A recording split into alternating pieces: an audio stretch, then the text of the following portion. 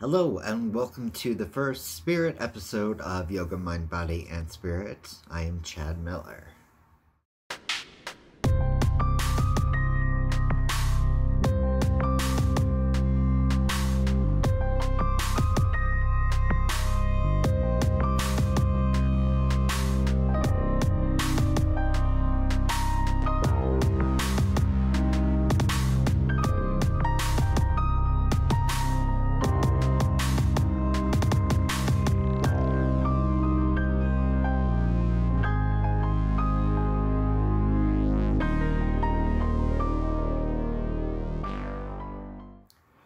So, in conjunction with the mind and body aspects of yoga, uh, spirit is also a very big thing.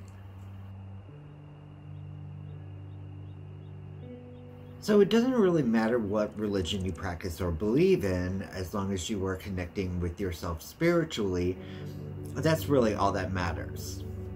Myself, I'm Wiccan, so there's a lot of connection to the earth, uh, to the masculine feminine, to the sun and the moon and putting good out into the world to get good back.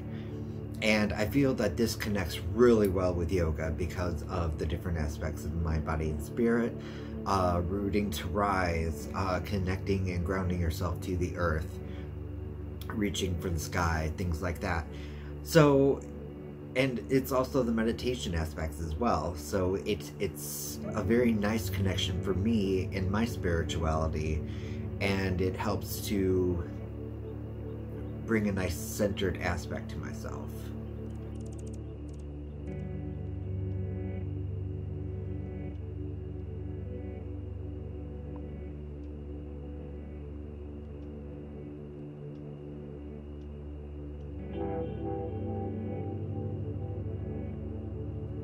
When I first discovered Wicca and started learning about it, I really felt this sensation come over me that that it was something that was right for me, that it was something that, like even talking about it right now, I feel the sense of calm, of peace and serenity that are enveloping me.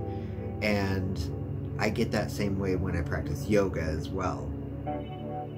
So it's really nice to kind of combine my spirituality with this practice.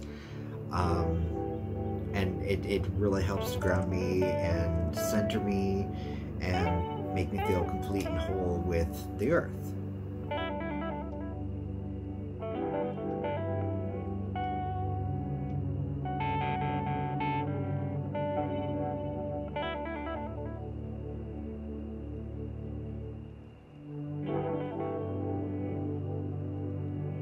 So in meditation, when you're either beginning your daily practice of yoga or if it's every other day, once a week, however it is, when you start out and when you end, you're basically praying.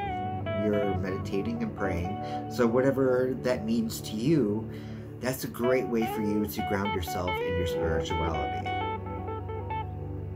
So, as I continue on this journey, I'm going to be strengthening my mind, my body, and my spirit. And it's going to be a fantastic journey, and I'm so excited to see how well I expand my knowledge in those three areas. And I hope that all of you out there can do the same for yourselves. Don't forget to watch uh, Yoga with Adriene, uh, the instructor that I go through on YouTube. Uh, I also hear she has some uh, videos on Amazon Prime. So if you hashtag Yoga with Adriene with one N, um, I'll put that right here. Um, as I've said before, she is absolutely fantastic, and she's not cheesy. Um, it's not like talking like this and being serene and peaceful. Um, she's really real, and uh, that's one of the aspects I really enjoy about her. So don't forget to catch yoga with Adriene. Continue to watch my journey in mind, body, and spirits. And namaste.